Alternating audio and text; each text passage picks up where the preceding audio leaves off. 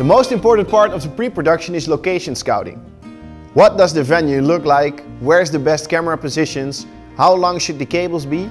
And where is the power supply? If you are in a studio, there are a lot less problems to face since these questions are already answered. But there are a lot of EFP productions that happen outside or at a remote venue, so be prepared.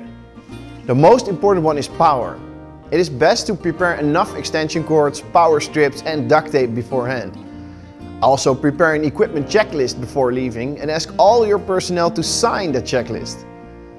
First we check that the cameras deliver a similar picture look and that we use the same connection so that we can choose the right switcher. After that, we can calculate the distance to prepare the video cables. Then check if that video signal has good enough quality and no interference. Just in case, prepare and test the cameras and switchers input and outputs before leaving.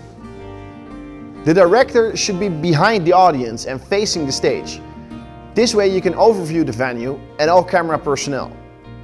Make sure the director is in a quiet area because noise can distract him.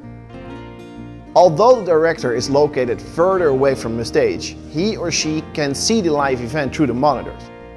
That way the director doesn't necessarily need to be in the same area. He or she could also be outside in an OB van.